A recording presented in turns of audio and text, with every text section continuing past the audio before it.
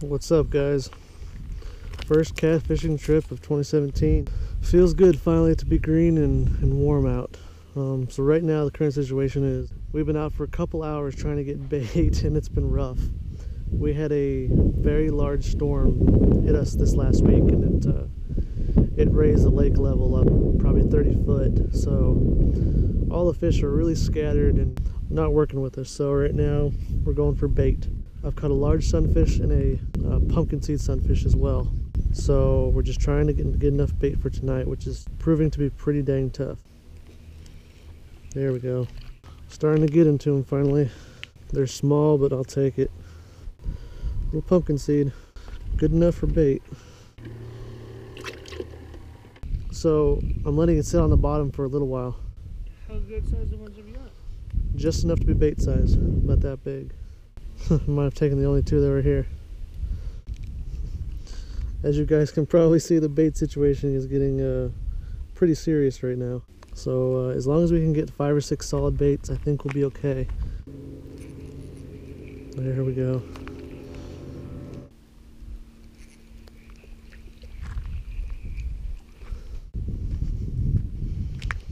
One more sunfish.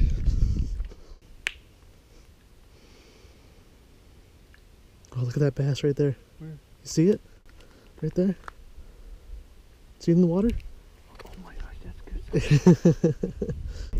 It sucks that we're gonna have to spend our night in a campground, but there's literally the only shore open shore space we can find. And it's right next to the dam. At least we found a decent spot to fish. I guess this is home. Looks like we can do decent as long as there's catfish in the area. We're gonna start eating a little bit, but first we're gonna take out the couple baits that we do have and just try them out and see how that works. Huh? It's been a while since you've been in a kayak. Yeah. Throw a little cut bait on that rod and then we'll do live on that one.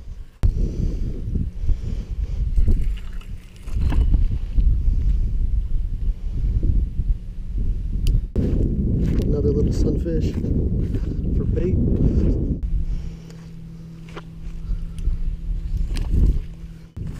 I would probably do one live and one cut for you, and then the rest we can do with worms.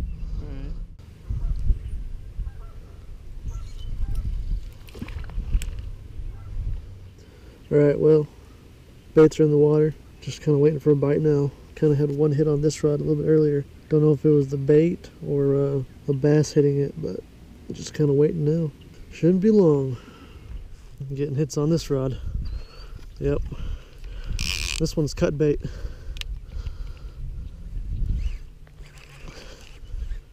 Fish on.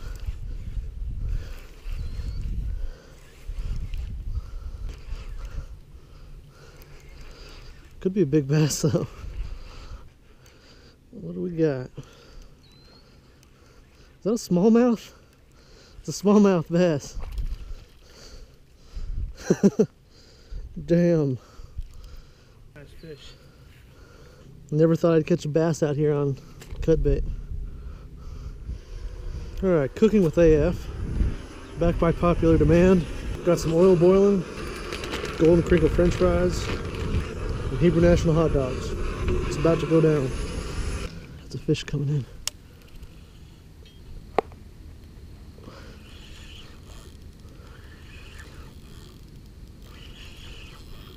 Yeah, there's something there.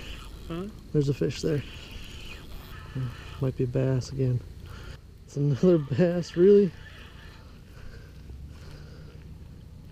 It's bass days here. He's been chewing on it for a while.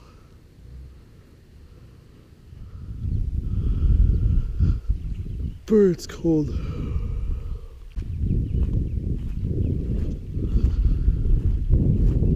It's probably another bass.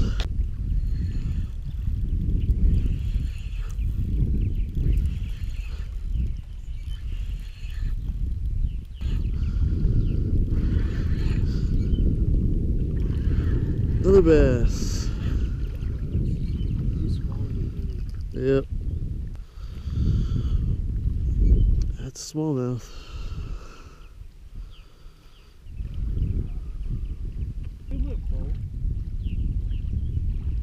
Yeah. Give it a second, but I might have a bass on there. Johnny's fighting him in. you got there, Johnny?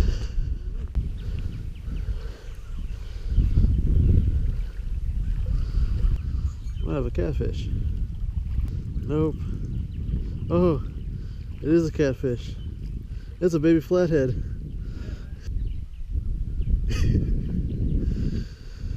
Alright, you want to weigh it? Nah, let's weigh it. Says bird. but hey, it's a flathead.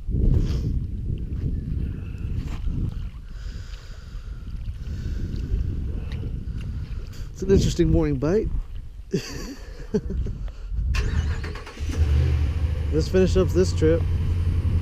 Caught two smallmouth, caught a largemouth, Johnny caught a baby flat, and bait was interesting, but fun night. Thanks for watching, guys.